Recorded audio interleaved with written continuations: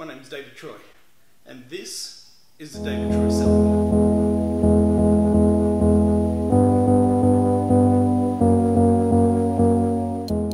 We're just going to jump right into it today, and this is our model Emily. Emily's 15 and she's looking for something new. So when she came in, we sat down and had a consultation. As you can see, she's kept it all pretty much one length. There's a longer layer in there, but she's ready for a change. So what we're going to do, we're going to bring it above her shoulders. She's definitely ready for that bit of a change, and we're going to do a round layered haircut. So the way we're going to achieve this is bringing everything out at 90 degrees off the head, starting at the nape, working all the way around. We're going to keep the length at about 4 to 5 inches around the whole shape of the head. Now I am going to keep it longer in the front, so I'm going to, when I get to that section, I'm over directing it back into the rest of the hair. But I don't keep a tight tension on my section when I do this haircut. I use a wide tooth of the comb.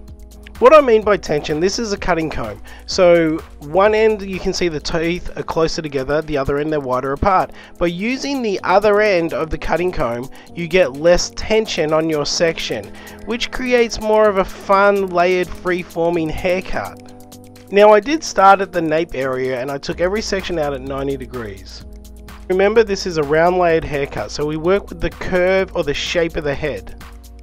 And this is the way it turned out. I love this haircut for Emily. I think it turned out amazing. And I loved using the wide tooth of the comb for the whole haircut. When I took my sections it gave me less tension. So you can see here the layers just turned out amazing. When we look at the before and after side by side, you can see how this haircut just opens Emily's face right up.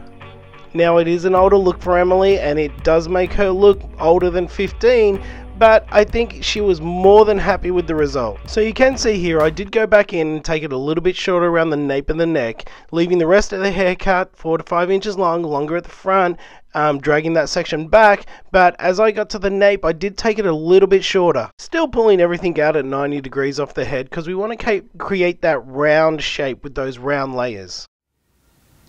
Don't forget to like, comment, and share this video. Don't forget to hit that bell notification so you know when I upload.